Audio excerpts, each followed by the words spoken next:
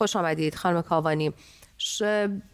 لطفا اگر که صدای شما رو داشته باشیم بیشتر بشنویم از شما در ارتباط با اعتراضات سراسری خیزش سراسری مردم در ایران. احساستون چه هست؟ به عنوان یک زن و به عنوان کسی که دارید این تحولات رو نظاره می‌کنید؟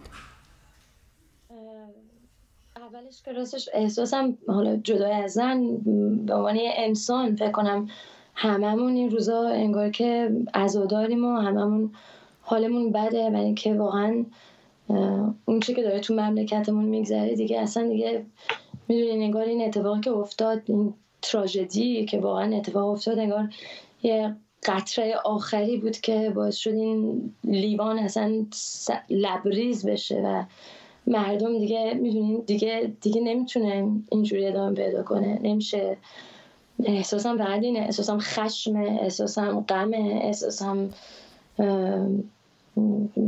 همدردی با هموطنانمه. خیلی عجیبه. انگار که مثلا از ما که این اتفاق افتاده احساس می‌کنم هممون به هم دیگه نزدیکتر شدیم. حالا هر جای دنیا هستیم. که خب هم زیباست هم غمگینه. بله.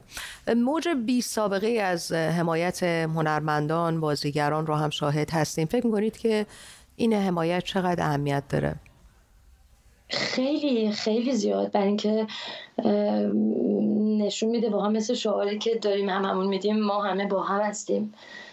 فکر می‌کنم که خب خیلی مهمه که ببینیم که برای هموطنانمون هم خیلی بیشتر باعث دلگرمیه که بدونن هنرمندان کشورشون ورزشکارانشون معلوم دارم می‌بینم همه چجوری دلگرمن از پشتبانی آقای کریمی و چقدر دل, دل همه قرصتره دل همه گرمتره خیلی مهمه واکنش هایی که داشتیم از سوی جامعه بین الملل به خصوص زنان سلبریتی های که چهره های بین المللی هستن اونها رو چطور می‌بینید؟ چهرهای داخل ایران یا خارج خارج از ایران چهرهای بین المللی مثل اصلا اینجا دارم می‌بینم اولا که همه کاملا تو شکن و در ضمن خیلی فقط در تحسین زنای ایرانی هم که دارن یه مثل یه انقلاب دارن نگار پیش می‌برن و فکر می‌کنم که الان داره هی روز بروزن بیشتر میشه. همه جا مجله ها همه, همه جا بحثشه. همه جا راجبه زنای ایرانی حرف زده میشه و اصلا چیز که جالبه اینه که زن ایرانی انگار تبدیل شده به یه سمبل سمبل قدرت سمبل آزادی و آزادگی و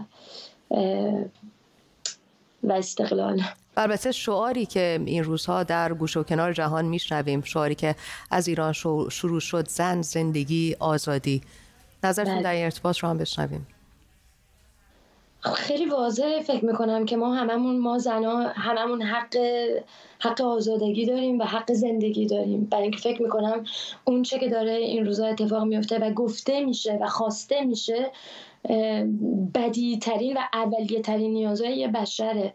یعنی من فکر نمی‌کنم ما چیز زیادی می‌خوایم یا دختره جوانه تو ایران چیز زیادی می‌خوان. می‌دونین فقط آزادی می‌خوان. شما می‌تونین تصور بکنین یه روزی تو خیابون پاریس یه کسی رو بکشن به خاطر گیسش.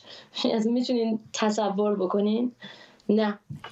برای اینکه جز بدی ترین خواستایی که یه بشر می‌تونه داشته باشه و زن حق زندگی داره زن حق آزادگی داره و بدن زن مال زنه مال خودشه. پوششش مال خودشه. خودشه که باید انتخاب کنه. سپاسگزارم از شما مینا کاوانی بازیگر از پاریس فرانسه همراه ما. خواهش می‌کنم.